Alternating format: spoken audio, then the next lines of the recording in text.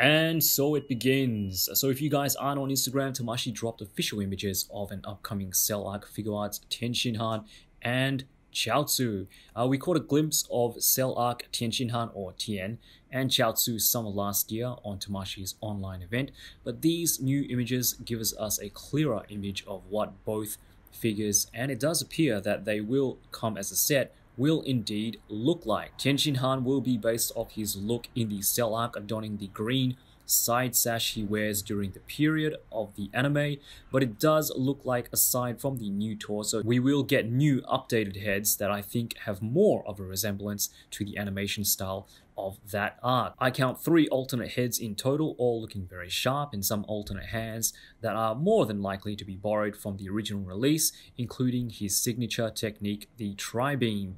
Everything else does seem to be a reuse of the original Tenshinhan release, including the arms and legs, but there is definitely enough new to make this a pretty exciting release. But I think the main attraction for me, personally anyway, is the inclusion of a fully articulated Chaozu. Now we did get a Chaozu figure, uh, if that's what you want to call it. I guess it's more of a, an accessory with the original Tenshin uh, release. No articulation, static pose figurine, which I guess did serve its purpose to recreate that one scene in the Saiyan Vegeta arc, but having a fully articulated Chiaotzu makes this release a must buy for me. It'll be the only way you can have all the Z fighters together, and the only way you can recreate the head Chala intro with Figuarts.